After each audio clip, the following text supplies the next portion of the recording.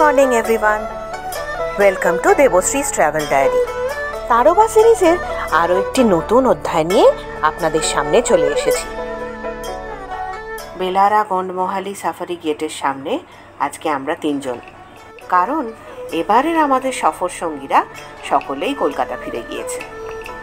বেলারা জোনে আজকে মোট দুটো সাফারি, একটা মর্নিং আর একটা আফটারনুন। বেলারা বাফার মূলত Bela female tigress Veera female tigress আর জাইলো মেল টাইগারকে দেখা যায়। নির্ধারিত সময় ঢুকে পড়েছি বাফার গেট দিয়ে। আজ কার মুখ থেকে সকালে উঠেছিলাম কে জানে? গেট দিয়ে ঢোকার পাঁচ মিনিটের মধ্যে খবর এলো, ভিরাকে বসে থাকতে দেখা গেছে। জায়গাটায় পৌঁছতে আমাদের মিনিট দশেক লাগবে। কে জানি, পাবো কিনা তার দেখা। আত্মবিশ্বাসী অজিতের আশ্বাস বাণীতে আশ্বস্ত হয়ে আশায় বুক বেঁধে এগিয়ে চললাম অরণ্য পথ ধরে। মহুয়া গাছটার প্রকাণ্ড মুড়ি, তারই গায়ে বাঘের স্ক্র্যাচ মার্ক বাঘের থাবার মধ্যে থাকে ঘ্রাণ গ্রন্থি মুখ দিয়ে আছড় দিলে তা ছড়িয়ে পড়ে গাছের গায়ে। ডেফিকেশন বা স্প্রে মার্কিং ছাড়াও বাঘেরা এভাবেও নিজেদের এলাকা চিহ্নিত করে। অজিত জানালো গাছের গায়ে আছড় দিয়ে কখনো কখনো নখ তীক্ষ্ণ করে নেয় বাঘ। জায়গাটায় পৌঁছে দেখি প্রায় সিনেমার নতুন সেটিং যেই জায়গাটা বাঘ শুয়ে আছে, সেই জায়গাটা ফাঁকা ফায়ার লাইনের মতো। লালচে ঝুরঝুরে বালির মতো মাটি। আশপাশটা বড় বড় গাছ আর ঝোপ জঙ্গল। তারবা মাদনাপুর বাফারসনের রানী জোনাবাই। তারই শাবক এই বীরা একবার খেয়াল করে দেখুন কপালের ডান পাশে চোখের ওপর রয়েছে অ্যালফাবেট ভি সেখান থেকে তার নামকরণ। জানতে পারলাম বাঘের ধাবায় ডিউক্ল সমেত মোট পাঁচটি ডিজিট। ডিউক্ল এর অর্থ? প্রথম সেই আঙুল হাঁটার সময় যেটা মাটিতে থাকে না। বীরা সপরিবারে রয়েছে জায়গাটা। তার সঙ্গে রয়েছে তার দুই শাবক। দুজনেই মায়ের উপর নির্ভরশীল। বয়স এই চোদ্দ মাস মতো। একটি মেল, অপরটি ফিমেল। আচমকা ঝোড়ো হাওয়ার মতন হঠাৎই ঘনিয়ে এলো বিপদের সংকেত। স্পটেড ডিয়ারের অ্যালার্ম কল। কে জানে, কোনো শত্রু হানা দিচ্ছে কিনা বিরার এলাকায়। বিরার ফিমেল কাপ শান্ত, বাধ্য, মায়ের ছায়া সঙ্গে। তার ভাই অবশ্য তার বিপরীত। সে চঞ্চল।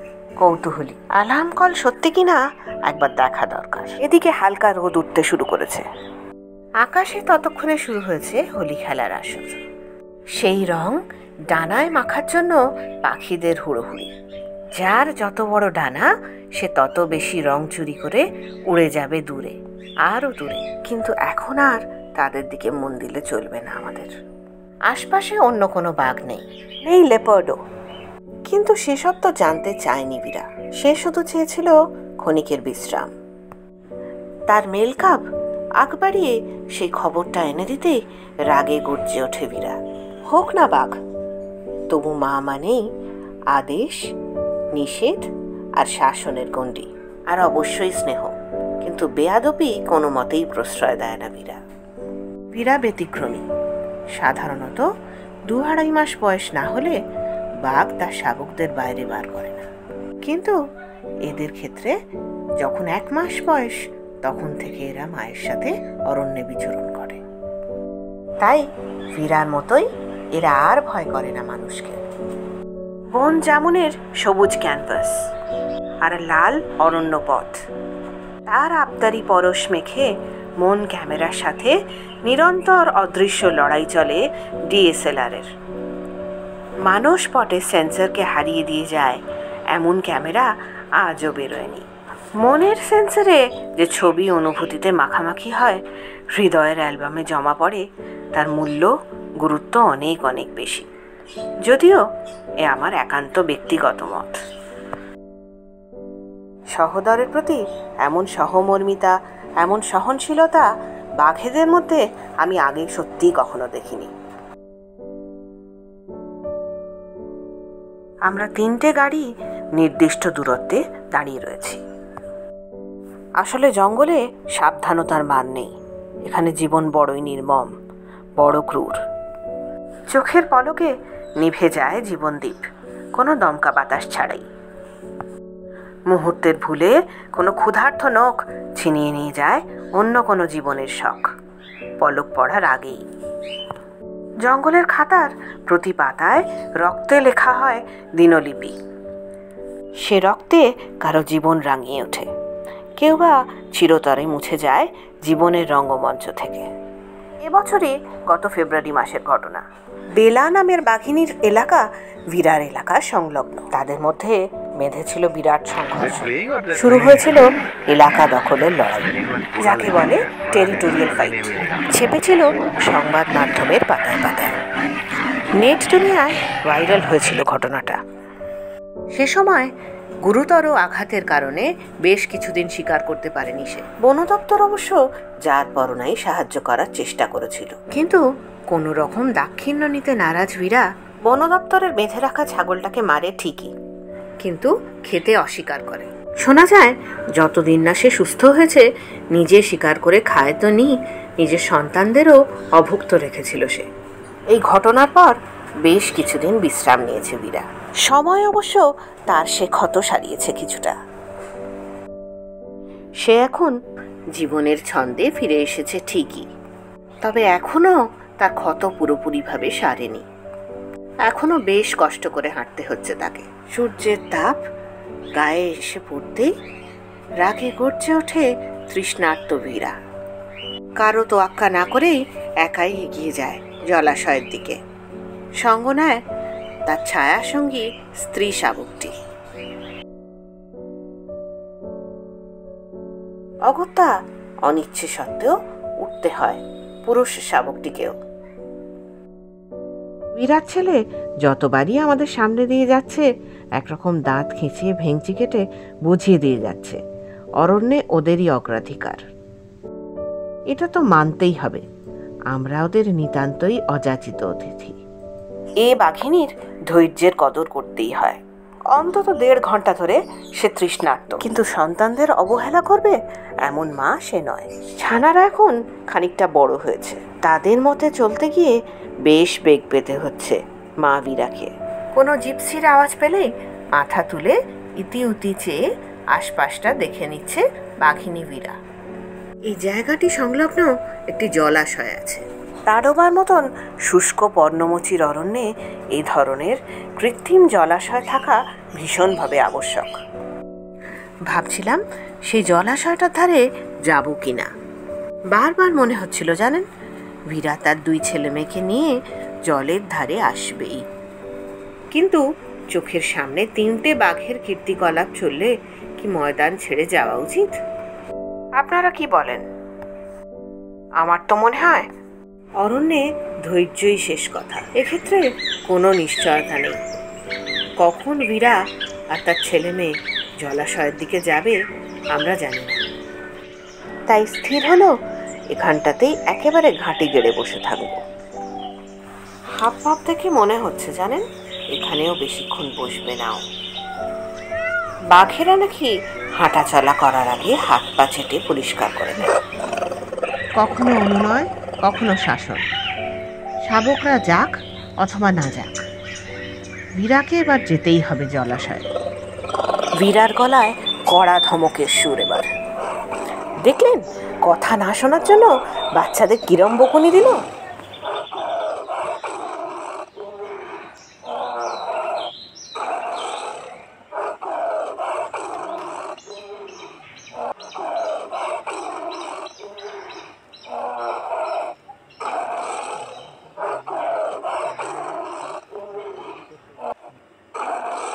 অবাধ্য ছানাদের প্রতি রাগে গজরাতে গজরাতে এবার একাই জলাশয়ের দিকে হাঁটা দিল বীরা আমরাও গিয়ে পৌঁছলাম অগভীর সেই জলাশয়টার পাশে। বেলারা বাফার অনাবিল সৌন্দর্যের জঙ্গলে ঠিকানা। তারই হৃদয় জুড়ে রয়েছে বীরা বীরার বয়স পাঁচ বছর। জীবনে প্রথমবার শাবকদের বড় করছে সে। কাঙ্কাসারি মেল জুনাবাই ফিমেলের শাবক এই বাঘিনী বছর পাঁচেক বয়স তার। আমাদের গাইড অজিত কথায় কথা জানালেন, বাফারগুলোতে এখন টাইগার হিউম্যান কনফ্লিক্ট অনেকটাই কম। তার পুরো কৃতিত্বটা তিনি ভাগ করে দিলেন ফরেস্ট ডিপার্টমেন্ট, স্থানীয় মানুষ, গাইড চালক এবং ট্যুরিস্টদের মধ্যে। তার সুন্দর ব্যাখ্যাও দিলেন প্রাঞ্জল ভাষায়। কাছেই একটা ঝোপের আড়ালে একটা স্পটেড ডিয়ার শিকার পড়ে থাকতে দেখা গেল। তবে হাতে খুব বেশি সময় না থাকায় অগত্যা বেরিয়ে আসতে হলো জঙ্গল থেকে। মাত্র বেরোলাম। বেলারা সাফারি গেট থেকে। এবার আমরা এই যে ইনোভা গাড়ি আমাদের বুক ছিল সেই গাড়ি করে আমাদের যেতে হবে। আরও কুড়ি মিনিট এখান থেকে লাগবে। ফেরার সময় যেরকম কুড়ি মিনিট লেগেছিলো ওরকমই কুড়ি পঁচিশ মিনিট লাগবে। আমরা আমাদের হোটেলে মানে এফডিসিএম এর যে ফরেস্ট রেস্ট হাউস সেখানে ফিরে যাব। বিকেলবেলা যেহেতু এই একই জোনে সাফারি এদেরই গতিবিধির উপর নজর রাখব আবার। আফটারনুন এখন afternoon safari Belara buffer zone পৌঁছে গিয়েছি সেই জায়গাটা। দেখুন তো মনে পড়ছে কিনা? এই সেই কৃত্রিম জলাশয়। এখানেই মা বাঘ বীরা সকালে জল খেতে এসেছিল। বসেছিল জলাশয়ে গা ডুবিয়ে গ্রীষ্মকালে এসেছি আমরা। খামখেয়ালি বসন্ত পথ হারিয়েছে এ বনে। বনতলি কর্বুর রঙা ঝরা পাতায় ভরে আছে। ঘাসেরা হারিয়েছে তাদের স্বাভাবিক সবুজ জৌলুস সমস্ত বনানিতেই একটা রুখু সুখু ভাব। কে যেন অরণ্য থেকে সব রস, সব প্রাণ শুষে নিয়ে দিয়ে গেছে এক তাপদগ্ধ মলিন বিধুরতা। জলের ধারে একাকী হাঁটিটি ডেকে চলেছে অবিরাম। ধুলোর চাদর জড়িয়ে রংহারা সেগুন, কেন্দু ক্ষয়ের গাছেরা নিষ্পলক শূন্য দৃষ্টিতে আকাশবাণে চেয়ে আছে। পাখিরাও ভুলেছে তাদের কিচিরমিচির শুধু দু একটা হাতিটি ছানা দৌরাত্ম করে চলেছে অবিরাম। ওদের নিরবিচ্ছিন্ন দৌরাত্ম দেখে শ্রান্ত হনুমান শিশুরা মাতৃক্রোড়ে কখন যেন ঘুমিয়ে পড়েছে পাশের কুসুম গাছটায়। সূর্যের গরম আলো কুসুম গাছটার আলতা গোলা কচি পাতা থেকে পিছলে পিছলে পড়ছে। বাঁশপাতির দল মজেছে পোকা ধরা খেলায়। রবির ক্রূঢ় চাউনি প্রতি মুহূর্তে দগ্ধ করছে আমাদের। আর হবে নাই বা কেন? ঘড়িতে সময় এখন দুপুর সাড়ে তিনটে। তবে পোড় খাওয়া বনজ মনের জন্য সূর্যের রক্তচক্ষুকে বৃদ্ধাঙ্গুলি দেখিয়ে বাঘের জন্য সর্বোপরি অরণ্যের জন্য অপেক্ষা করা বুঝি ইটকাট কংক্রিটের সমুদ্রের চেয়ে ঢের ভালো। এতে শরীর বিরক্ত বোধ করলেও মন যেন কিঞ্চিত আশার আলো দেখছিল। বিরার বাচ্চারা দুপুর তিনটে নাগাদ জল খেয়ে গেছে। নিশ্চিতভাবে আসবে দু তিন ঘণ্টা বাদে। হঠাৎ যেন ব্যাক স্টেজ থেকে মূল মঞ্চে এগিয়ে এলো। হলদের উপর কালো ডোরা কাটা কলা কুশলীরা। না না বীরা তো নয়। দীর্ঘ প্রতীক্ষার পর এই তবে বীরার কন্যার আগমন। নিঃশব্দ পদচারণা। বোধহয় ভাবলো, এপারের জলটা ঠিক তেমন মিঠে নয়। তাই জলাশয়ের ধার দিয়ে গুটি গুটি পায় এগোতে এগোতে অবশেষে নিশ্চয়ই এই জায়গাটা বেশ পছন্দ হয়েছে।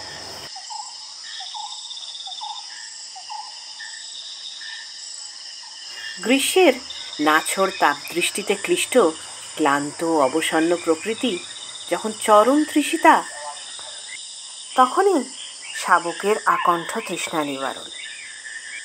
সাথে গা ডুবিয়ে শরীর জুড়িয়ে নেওয়ার পালা। আরেক শাবকের উপস্থিতি জানান দেয় স্পটেড ডিয়ার। এই সেই চঞ্চল কৌতূহলী শাবক। হাঁটা, চলা, জল খাওয়া, জলে বসা, তার সব কিছুর মধ্যে এক দুষ্টু, আদুরে খুনসুটি। প্রায় পনেরো মিনিট ধরে চলতে লাগল। তার খেলাধুলো আর জল খেলি। কখনো জলের মধ্যে উল্টে পাল্টে খেলছে। কখনো আবার নিজের ল্যাজে করে জল নিয়ে মুখে ছিটিয়ে নিচ্ছে খানিকটা। জলের আরেক প্রান্তে তখন অনুরণিত হচ্ছে অগুন্তি সাঁটারের শব্দ।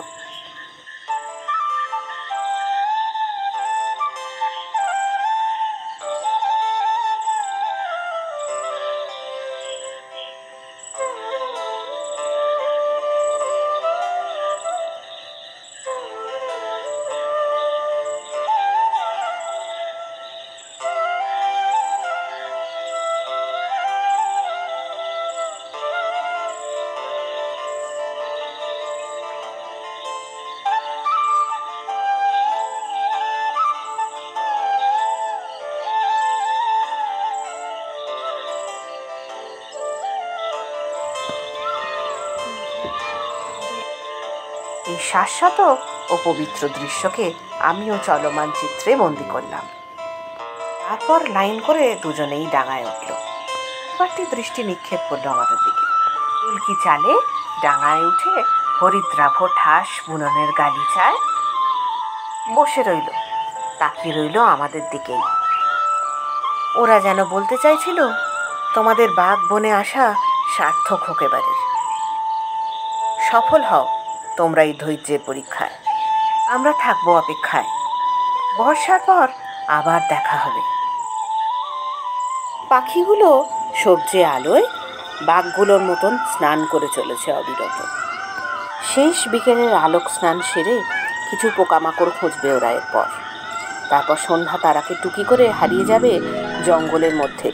কোনো সুখ নিলে সারাটা রাত ভয় বাঁচে ওরা।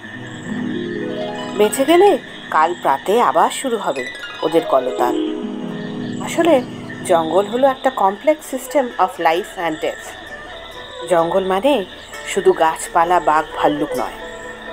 হাজার রকম পাখি, লক্ষাধিক কীট পতঙ্গ সাপদ, অন্যান্য তৃণভোজী, সরীসৃপ, বৃক্ষ, গুল্ম, ঝোপঝাড়, জল, মাটি, আকাশ, নদী, পাহাড় মোরামি রাস্তা, বাতাস, হাওয়ার মাঝে ঝরে পড়া পাতার বুক ফাটা অব্যক্ত শেষ আর্তনাদ। লোভ, লালসা, সব মিলিয়ে আমাদের এই ভারতীয় জঙ্গলেরা।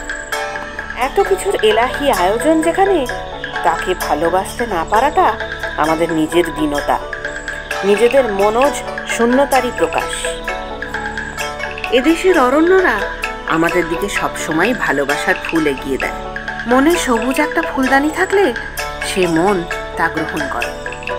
বনজ সৌরভে ভরায় নিজেকে। একবার ভাবুন তো, কেউ কি পারে তা হেলায় ফিরিয়ে দিতে?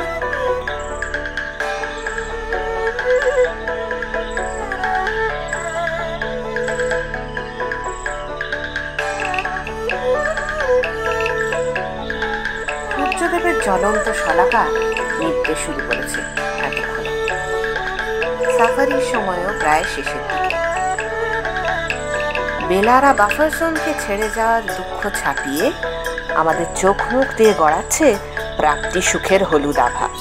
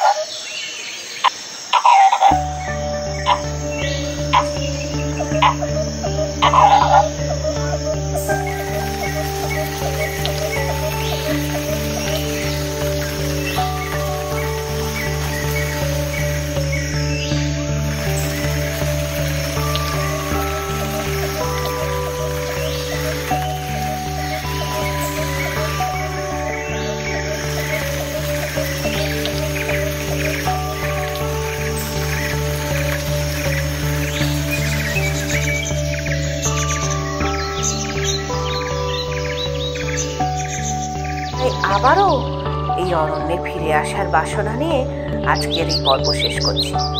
আপনাদের কেমন লাগল জানাতে ভুলবেন না। আর ভালো লাগলে আমার ভিডিওটা লাইক করবেন। শেয়ার করে দেবেন আপনার পরিচিতদের সঙ্গে। দেখা হবে পরবর্তী পর্বে। অর্থাৎ তারকা পর্বের শেষ ভিডিওতে। সকলে ভালো থাকবেন, সুস্থ থাকবেন, আর সঙ্গে অতি অবশ্যই রাখবেন। Debashree travel guide